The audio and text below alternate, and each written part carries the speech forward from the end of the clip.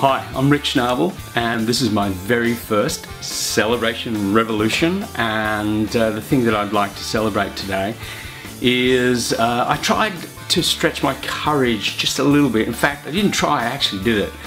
What happened was there's a particular beach It's a little bit, uh, in surfing terms, a little bit more gnarly than most other beaches and I tried it for the first time and the waves were quite large and meaty uh, but the most exciting thing was that uh, it's a completely different wave. It's a very very steep wave. I got smashed. I got knocked around and, uh, and I caught some great waves in between. And one thing that I really feel that we all need to do from time to time is just stretch ourselves just a little bit to find out exactly what we have within us. What is the capacity? What can you do if you just stretch yourself just a little bit? For some of us, it's just putting that hand out and shaking the hand of someone who have never met before.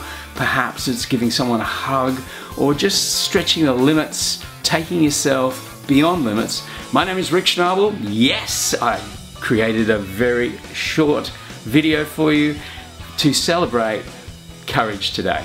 And I'd love you to do just something that stretches you just a little bit to create courage. Have fun, enjoy, have a great day, enjoy Celebration Revolution. And Luann, what a great idea. Awesome.